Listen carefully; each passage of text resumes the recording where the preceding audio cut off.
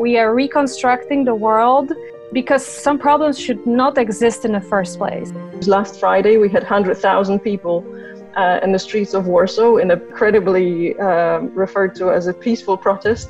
All the groups, like they, they sat home, they had moment to think, and they noticed the world is not what they wanted it to be.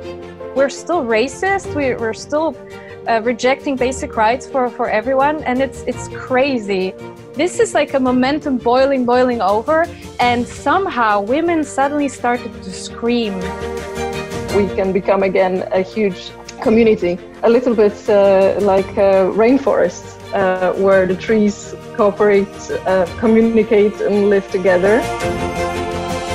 Two weeks ago, more or less, when uh, controlled by Polish government, the Constitutional Tribunal declared um, that part of the society it doesn't have full human rights. And that caused a huge eruption of, well, everything and anything frustration, anger, uh, protest, and um, a lot of different social groups have now joined.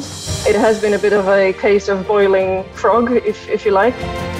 Women are now basically forced to bear kids that will suffer and die. They are forced to to come to term and then bury that child just so that the child can get christened. And it's decided by, by, by men and priests. We're deprived of free will, we're deprived of the ability to decide about our own bodies. This is exactly the women's right issue in Poland right now. This should not be an issue in this time.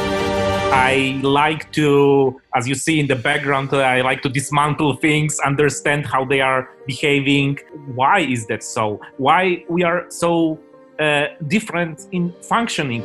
There is some regret that I cannot help them. And now there's opportunity for me to use what I know, what I feel, to dismantle it and assemble it again in maybe better way. So what I or I think we try to do is not to uh, be against the world, not against the older systems that exist. Uh, we are more about creating something new, which is better, which reaches deep down to our hearts. And just because it's better, it's gonna replace the obsolete social systems. It's not about uh, trying to force anyone to, to shift because then we're becoming just the, the same, it sits within the same paradigm. We're still ideating, so we're, we're, focusing on the problem first so we can be agile enough to find different solutions. Out of solutions we were considering is something, games related to empathy and education through role reversal. We were also considering more like, like as a tool to teach neural networks to recognize emotions. Artificial intelligence is uh, the currently most models are trained on the very patriarchal data. Turns out AI is now very uh, comes out quite racist or or misogynist, even augmenting the the issues that are that are currently in the world, mimicking us but worse.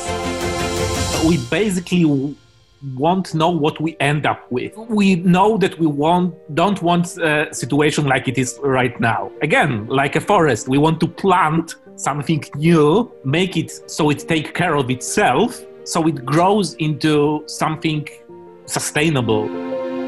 People that are happy, they are, they are uh, not frustrated, and they, they, they should be more kind to each other, more in, in, in cooperation than in competition. Bringing back a feeling of empathy and uh, being able to connect with uh, people who are different, and um, a call to action to to all to relearn it, um, as we seem to have lost it in evolution.